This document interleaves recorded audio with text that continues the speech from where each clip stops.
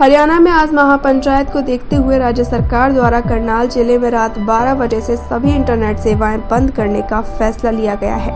गृह मंत्री अनिल विज ने बताया कि महापंचायत की आड़ में कुछ असामाजिक तत्व अफवाह फैलाकर समाज का माहौल खराब कर सकते हैं, जिसके चलते यह फैसला लिया गया है। उन्होंने कहा कि महापंचायत को लेकर सरकार, पुलिस प्रशासन की तरफ़ से पूरे इंतज़ाम किए गए हैं।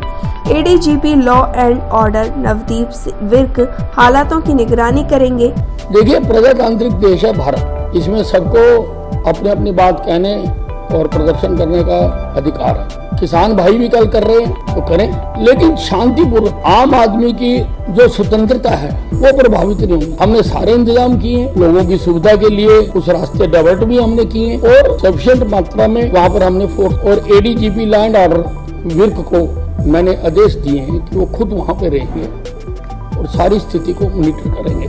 गृह मंत्री ने कहा कि भारत एक प्रजातांत्रिक देश है जहाँ सबको अपनी बात कहने और प्रदर्शन करने का अधिकार है।